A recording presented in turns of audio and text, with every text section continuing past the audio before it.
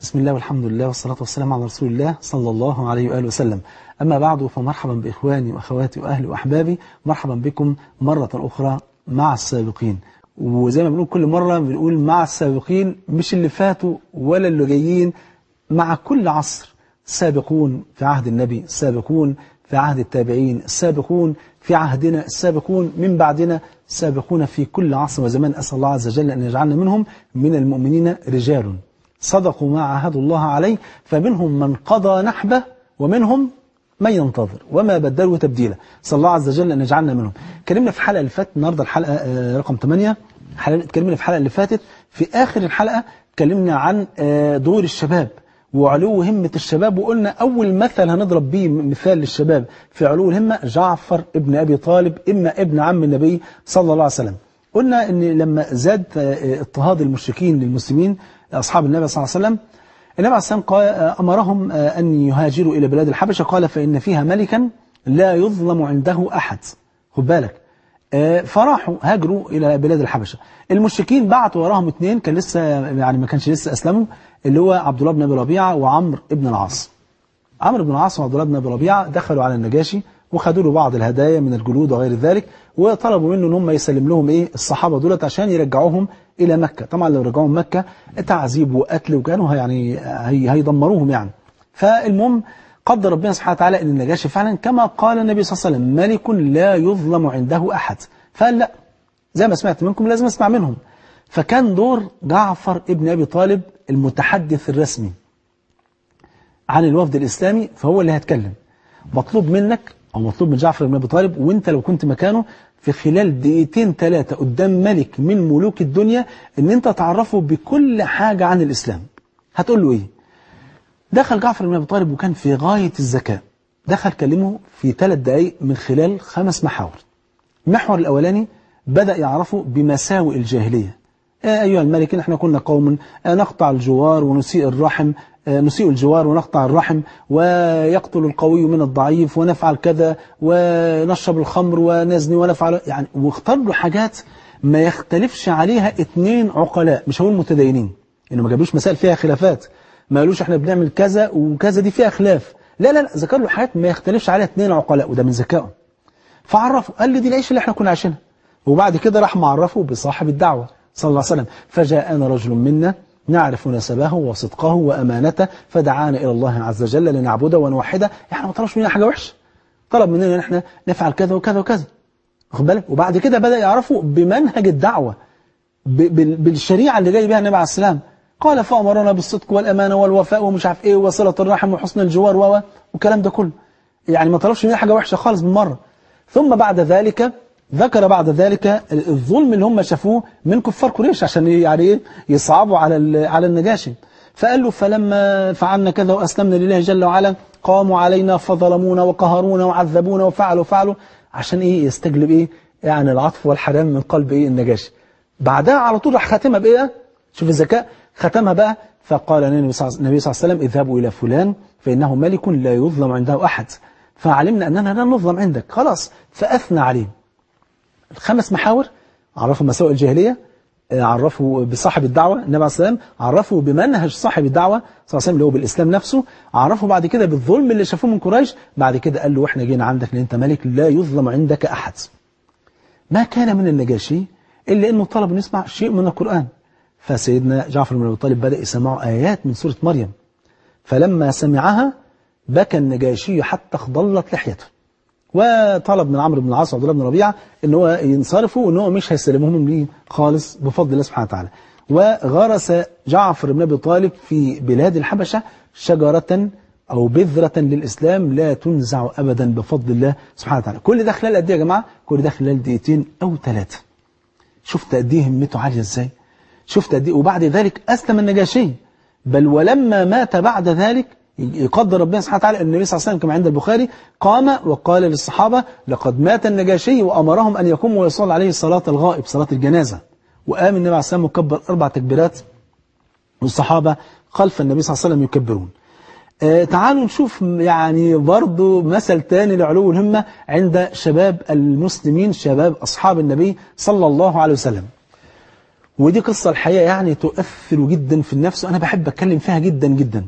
اللي هي قصة مصعب ابن عمير. أول سفير للدعوة إلى الله سبحانه وتعالى. وأنا لما أقول لك كلمة أول سفير للدعوة أنا عايز يعني الغيرة تتحرك في قلبك وتتحرك في قلبك والهمة تشتغل أكتر وال يعني. ونبتدي بقى نفكر إيه اللي هنقدمه للإسلام. يعني إذا كان مصعب بن عمير رضي الله عنه أول سفير للدعوة في المدينة المنورة. ما تسأل نفسك طب ما أكون أنا أول سفير للدعوة في منطقتي في الشارع بتاعي في العمارة اللي أنا فيها. لعل وعسى ولأن يهدي الله بك رجلا واحدا خير لك من حمر النعم كما قال النبي صلى الله عليه وسلم. وبعدين صلى الله عليه وسلم يقول يعني كما عند الترمذي بسند صحيح إن الله وملائكته وأهل السماوات وأهل الأرض حتى النملة في جحرها وحتى الحوت في البحر لا يصلون على معلم الناس الخير. بأبي هو وأمي صلى الله عليه وسلم. شوف كلمات النبي عليه السلام الدال على الخير كفاعله. شوف قد إيه؟ من دعا إلى هدى فله مثل أجور من تبعه دون أن ينقص ذلك من أجورهم شيئا. بلغوا عني ولو آية بأبي هو وأمي صلى الله عليه وسلم. فالمهم مصعب بن عمير كان الكلام ده يا جماعة بعد بيعة العقبة الأولى. أنتوا عارفين إن الكفار لما رفض دعوة النبي عليه السلام النبي عليه السلام بدأ يبحث عن أي مجال أو مكان يدعو فيه إلى الله سبحانه وتعالى أي تربة أخرى تقبل بذرة التوحيد. بدأ بعد ما رفض أهل مكة هذه البذرة الطيبة المباركة. فالنبي عليه السلام في موسم من مواسم الحج خد بالك من الموضوع من أوله يعني.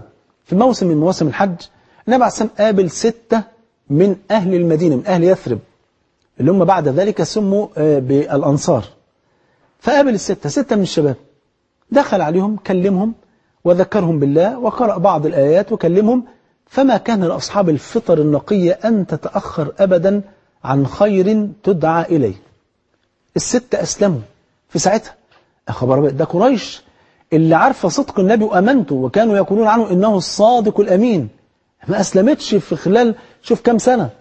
ودولت مجرد ما سمعوه صلى الله عليه وسلم مجرد ما سمعوه أسلموا في ساعتها ورجعوا المدينة. فدعوا قومهم فأسلم سبعة معاهم. جم السبعة دولت السنة اللي بعدها ومعاهم خمسة من الستة اللي أسلموا في الأول. بقوا كام؟ بقوا 12 فجم راحوا بايعين راحوا مبايعين النبي عليه السلام بيعة العقبة الأولى. دي اسمها بيعة العقبة إيه؟ الأولى.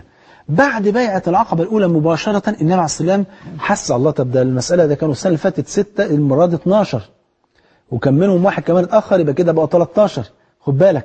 يبقى معنى كده إن في الإسلام ابتدى ينتشر فين؟ في المدينة. لا يبقى لازم نبعت لهم حد عشان يعلمهم الكتاب والسنة عشان مش مش معقول يبقوا إيه؟ مسلمين وما عندهمش علم بالدين. فعلى طول من باب بقى إيه؟ اطرق على الحديد وهو سخن وهو سخن. راح باعت معاهم مصعب ابن عمير. مصعب بن عمير ده ده فتى مكة المدلل. ده كان يمشي في طريق وهو حاطط عطر كانت أمه تجيب له أغلى أنواع العطور من اليمن ومن الشام والملابس حاجات يعني أرقى أشياء. حتى إنه كان يعدي من الطريق لو أنت عديت من الطريق نفسه بعدها ب 10 دقائق بربع ساعة تعرف من الريحة إن مصعب بن عمير كان لسه معدي. شوف تخيل درجة إيه؟ ورغم ذلك لما أسلم حبسته أمه وحرمته من كل ثروتها فهرب منها ورضي بالإسلام وترك كل ثروة أمه وعاش في فقر شديد حتى أنه لما قتل في غزوة أحد رضي الله عنه وأرضاه كان عليه نمرة. يغطون رجليه فتبدو رأسه. يغطون رأسه فتبدو رجلاه. ف يعني غطوا رأسه وخبوا بقى رجليه غطوها بإيه؟ بشيء من الحشيش من الإذخر سبحان الله ده مصعب بن عمير. فمصعب بن عمير ترك كل هذا لله سبحانه وتعالى وسافر إلى المدينة المنورة كأول سفير للدعوة إلى الله في المدينة المنورة. خد بالك بقى عمل إيه نزل ضيف على واحد اسمه أسعد ابن زرار. احفظ معايا الأسماء ديت. إحنا عايزين نحفظ أسماء الصحابة كأنهم يعني أهالينا بل أغلى من أهالينا. عشان لما نلقاهم يوم القيامة على حوض النبي صلى الله عليه وسلم. نزل ضيف على أسعد بن زرار. بقى طول النهار قاعدين قدام بيت أسعد بن زرار. أي حد معدي يمين شمال يجيبوه تعالى آه جاءنا النبي صلى الله عليه وسلم وأخبرنا بكذا وعلمنا كذا ويقرأ عليه شيء من القرآن وشيء من السنة. فأسلم عدد كبير من أهل المدينة على يد مصعب ابن عمير رضي الله عنه وأرضاه. مين اللي سمع بقى بالكلام ده؟ خد بالك بقى من الحتة العالية الجميلة دي. مين اللي سمع بالكلام ده؟ اتنين من سادة يثرب اللي هم مين؟ سعد بن معاذ وأسيد ابن الحضير. عايزك تحفظ معايا الأسماء دي. سعد بن معاذ كان الرتبة بتاعته ومكانته بين قومه كانت أعلى من أسيد بن الحضير فراح منادي على أسيد بن حضير وخد بالك بقى من الحتة الطريفة. أسعد بن زرارة اللي قاعد مع مصعب بن عمير قدام بيته ده يبقى ابن خالة سعد بن معاذ. هيدا تاني. مصعب بن عمير قاعد مع سعد بن زرارة مع أسعد بن زرارة أسعد بن زرارة ده اللي هو مسلم صحابي جليل. اللي هو قاعد مع مصعب ده ده أصلا هو طبعا من أهل المدينة أصلا هو ابن خالة سعد بن معاذ. فسعد بن معاذ راح جايب أسيد بن حضير قال له روح للراجل ده اللي هو مصعب بن عمير وقول له يروح يعمل يدعو في أي مكان تاني ما يدعوش هنا وإلا هنقتله فأسيد بن حضير سمع كلامه وراح واخد الحربة بتاعته وراح جاري على مين؟ على مصعب بن عمير وأسعد بن زرارة أول ما وصل ماسك الحربة راح مركزها في الأرض وكلمه كلام خشن جدا. قال ما الذي جاء بك إلى هنا؟ تسفه أحلامنا وتسب آلهتنا وتفتن صبياننا. اعتزلنا إن كنت في حاجة إلى نفسك وإلا فاعتبر نفسك مقتولا ظن التهديد واضح جدا يعني. لو أنت بقى مكان سيدنا مصعب تعمل إيه؟ أنت تقتلني أنا؟ أنت تعرفش أنا منين ولا ابن مين ولا شاف و... طب قول له قول له يا أسعد قول له عرفه بس أنا مين. واخد بالك؟ إنما لا ما خدهاش حمية. فبكل أدب بالأدب الذي تعلمه على يد النبي صلى الله عليه وسلم قال له يشوف الكلمات الهادية. قال أو تجلس فتسمع فإن رضيت أمرنا قبلته وإلا كففنا عنك ما تكره. طب اقعد بس يعني طب طب اسمع بس إحنا بنقول إيه؟ وإذا كان الكلام يوافقك خير ما وافقكش إحنا آسفين على الإزعاج. واخد بالك؟ نأسف للإزعاج. فالمهم فالراجل كان عاقل يعني سيد بن حضير راجل عاقل. فقال له لقد أنصفت. آه كلام كده كلام عقل. راح زايح الحربه وقعد. قعد يسمع القرآن من بين ثنايا مصعب بن عمير. مصعب بن عمير تلميذ النبي صلى الله عليه وسلم فجلس يقرأ القرآن والقرآن طالع من يعني تخيل بقى مصعب بن عمير. أسعد بن زرارة بيقول وهو شايف بقى عينيه على مين؟ عينيه على أسيد بن حضير. قال والله لقد رأينا الإسلام في وجهه قبل أن يسلم. طب والله إحنا كنا شايفين الإسلام في وشه قبل ما يقول أنا أسلمت. فلما قرأ مصعب على أسيد بن حضير قال أسيد ماذا يصنع من يريد أن يدخل في هذا الدين؟ خد بالك كان لسه من دقيقتين جاي إيه؟ جاي عايز يقتله. دلوقتي بيقول له ماذا يصنع من يريد أن يدخل في هذا الدين؟ قال تغتسل وتطهر وت... وت... وتغس... وتغير ثوبيك ومش عارف إيه. واخد بالك؟ وتصلي ركعتين. وتنطق شهادة الحق و... و... وإيه و... وتصلي ركعتين. فعلى طول. راح ساعتها اغتسل وتطهر وغير ثيابه. وإيه؟ وراح نطق شهادة الحق. أشهد أن لا إله إلا الله وأشهد أن محمدا رسول الله صلى الله عليه وسلم. وصلى ركعتين ومشي. الوش نفسه اتغير. ملامح الوش اتغيرت. فأول ما وصل لسعد بن معاذ سعد بن معاذ قال لك بس سيد بن حضير شديد ويروح هناك يكسر الدنيا وزمانه دلوقتي قتل مصعب وزمانه جايب لي في إيده اليمين راس مصعب وفي الإيد الثانية راس سعد اسعد بن زرارة ويبقى خلص الموضوع يعني. فلا جاي مبسوط خالص ومنشرح. ووشه كده مبتسم. واخد بالك؟ فبص سعد بن معاذ للناس اللي حواليه لا في حاجة. قال لهم والله لقد جاءكم أسيد بغير الوجه الذي ذهب به. شيء طبيعي. ذهب بوجه الكفر وعاد بوجه الإسلام. والإحسان سمت يجعله الله عز وجل على وجه من يشاء من عباده. فالمهم فدخل أسعد بن زرارة أسيد بن حضير كان قال كلمة حلوة أول مصعب خد بالك بقى. هو الراجل أول ما أسلم على طول ساعتها في لحظتها شال هم الإسلام. قال له والله يا مصعب إن من ورائي رجلا لو أسلم لأسلمت قبيلته كلها. لو تعرف تخليه يسلم إن شاء الله بإذن الله سبحانه وتعالى استعن بالله بس كده واشتغل عليه. فمصعب بن عمير قال له بس ما عليك إلا أن تأتيني به. بس هتقولي هنا وربنا يقدرني إن شاء الله أستعين بالله. طب لو أنت مكان أسيد تجيب سعد وسعد معاذ شديد جدا يعني. تجيبه إزاي؟ إذا كان هو عايز يقتله تقول له تعالى اسمعه.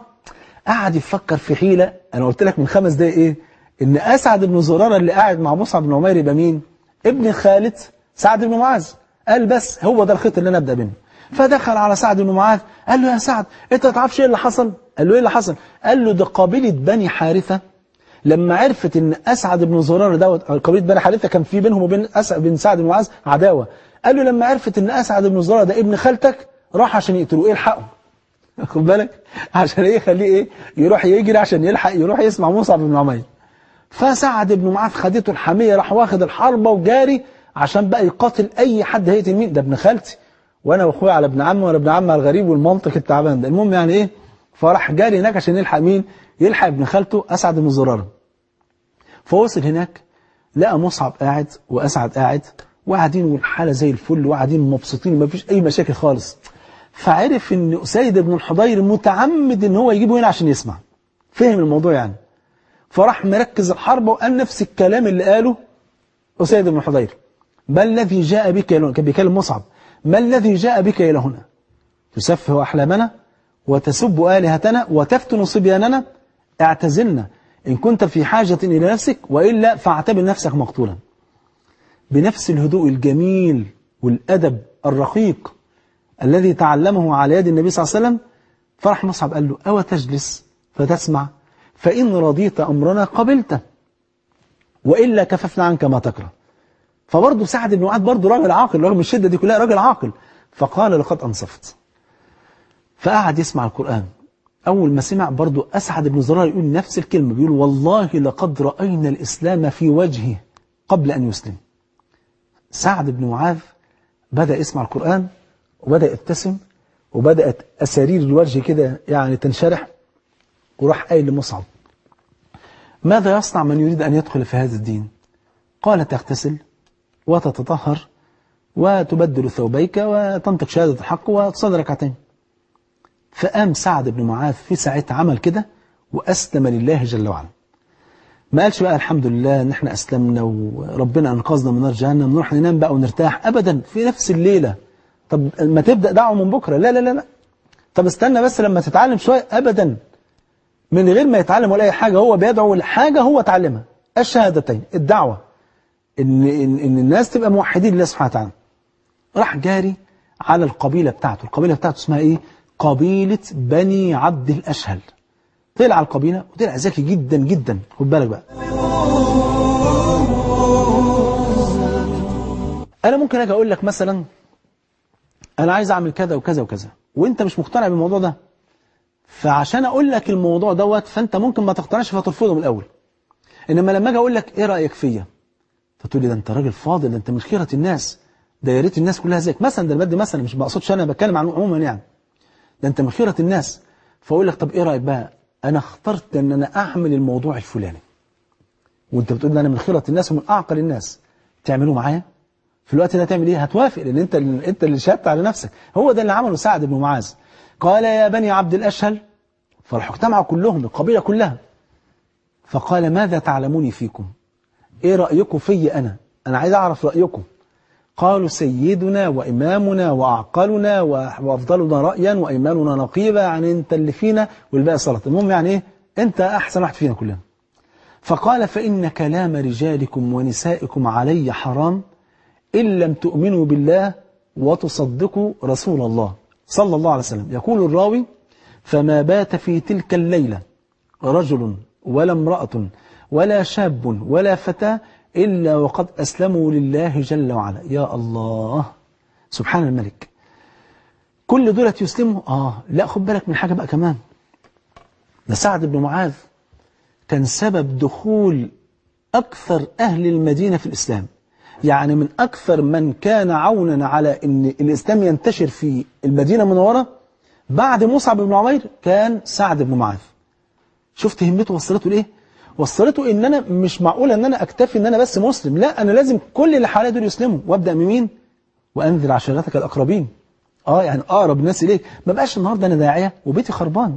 ما بقاش داعية وزوجتي تعبانة مش لابسه حجاب. ما بقاش داعية وبناتي ماشيين عرانين. ما بقاش داعية وعيالي ما بيصلوش.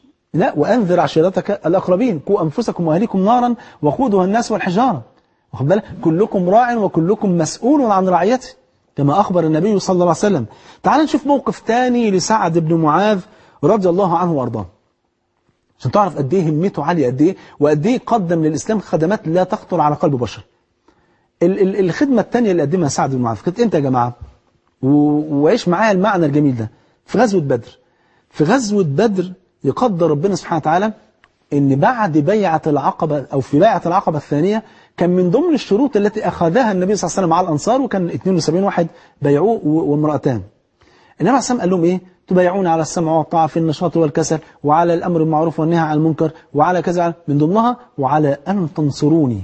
إذا قدمت عليكم وتمنعوني يعني تحموني مما تمنعون منه أزركم وأموالكم. أزركم كناية عن المرأة. يعني زي ما بتمنعوا نسائكم وتحموا نسائكم وأموالكم تحموني أنا كمان. ده فين؟ جوه المدينة المنورة. طب غزوة بدر فين؟ بره المدينة المنورة. طب وهو النبي لو أمر الأنصار يخشوا يجاهدوا في سبيل الله حد يرفض؟ طبعا لأ. أمال ليه النبي عليه السلام عايز يعرف رأيهم؟ لسبب عشان عايزهم يحتسبوا. خد بالك. فقال النبي صلى الله عليه وسلم النبي عليه السلام عدد الجيش كله 300 وشوية. وعدد الكفار 1000 وشوية.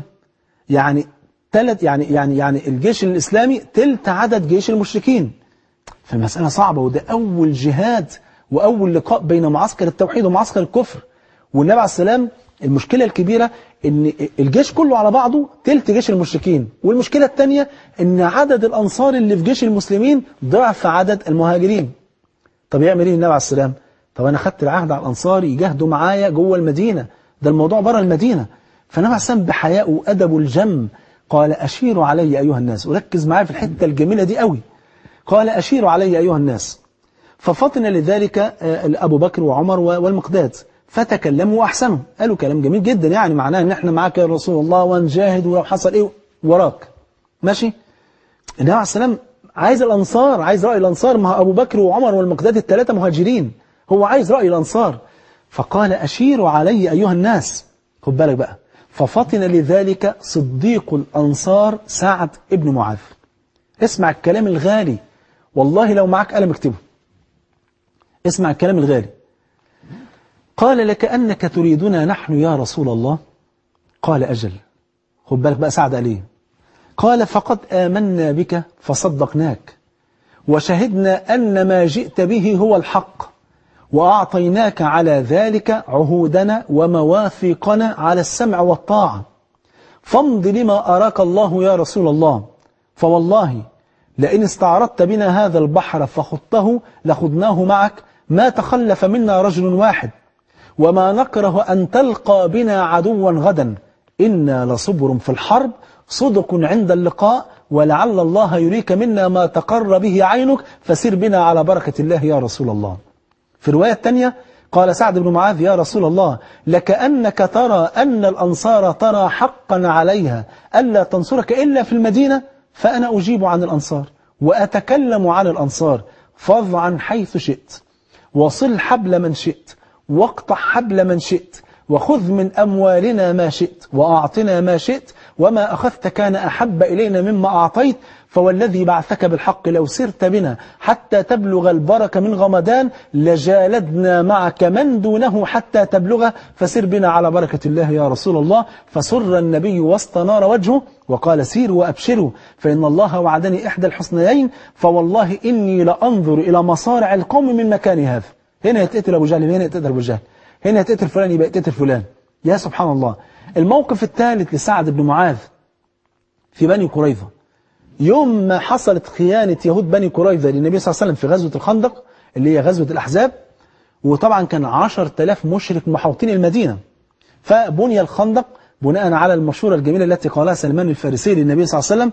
فالمشركين مش لاقيين أي مكان يخش منه إلا من خلال بقى إيه الأبواب الخلفية اللي هي عن طريق يهود بني قريظة. راح قدروا يلعبوا لعبة كده وأقنعوا يهود بني قريظة أنهم يفتحوا لهم الأبواب. وبالفعل حصلت الخيانة وفاطن لها النبي صلى الله عليه وسلم. والحمد لله ربنا قدر أن جاءت النصرة وأجلي هذا الجيش عن المدينة المنورة. فحب النبي يصف حساباته مع يهود بني قريظة لأن كان في عهد ما بينهم. يا إما أي جيش يغزو المدينة يا تقفوا معانا ونقاتلهم مع بعض يا إما تخليكم على الحياد. سيبونا إحنا والجيش بقى الأعداء دولت نقاتلهم بس أنتوا ما تخوناش. ما بقاش فخانتهم إيه؟ اليهود. حب النبي يصف حساباته مع يهود بني قريظة. خد بالك بقى سعد بن معاذ كان صديق حبيب جدا وحميم ليهود بني قريظة قبل الإسلام. فبعد الإسلام بقى مفصلة بين الكفر وبين إيه؟ الإسلام وبين الحق والباطل ولاء وبراء. فجه استشاروا ننزل على حكم مين؟ فقال ننزل قالوا ننزل على حكم سعد بن معاذ. عليه السلام نادى على سعد بن معاذ تعالى يا سعد احكم فيهم يا سعد هيحكم في مين؟ في يهود بني قريظة. فقال احكم فيهم يا رسول الله قال احكم فيهم يا سعد. فقال فإني أحكم فيهم يا رسول خد بالك هو داخل بقى يهود بني قريظة أول ما شافوه استبشروا قالوا يا أبا عمرو حلفائك وندمائك بقى ما تنساش القعدات الحلوة اللي كنا بنقعدها زمان فإحنا حبايبك يعني. فقال لقد آن لسعد بن معاذ أن يقول كلمة الحق لا يخشى في الله لومة لائم. يا رسول الله إني أحكم فيهم أن تقتل مقاتلتهم وأن تسبى نساؤهم وذراريهم وأن تقسم أموالهم. فقال النبي صلى الله عليه وسلم لقد حكمت فيهم يا سعد بحكم الله جل وعلا من فوق سبع سماوات. في اللحظة دي إيه اللي حصل؟ حصلت المفاجأة الجميلة العجيبة لسعد بن معاذ رضي الله عنه وارضاه صاحب الهمة العالية اللي قدم خدمات عظيمة للإسلام. يأتي جبريل عليه السلام كما في البخاري ومسلم ويخبر النبي صلى الله عليه وسلم إن عرش مالك الملك وملك الملوك اهتز لموت سعد بن معاذ. أي اهتز فرحا بقدوم روح سعد كما كما فسر ذلك الإمام النووي. قال صلى الله عليه وسلم كما عند البخاري ومسلم اهتز عرش الرحمن لموت سعد بن معاذ. اهتز إزاي؟ وإيه اللي حصل بالظبط؟ ده اللي هنفسره في الحلقة اللي جاية لأن مش هلحق أختم الحكاية الجميلة دي لسعد بن معاذ. إن شاء الله انتظرونا غدا إن شاء الله نكمل مع بعض إيه اللي حصل لسعد بن معاذ. فكن من السابقين. أسأل الله عز وجل أن يجمعنا في الفردوس الأعلى. سبحانك اللهم وبحمدك. أشهد أن لا إله إلا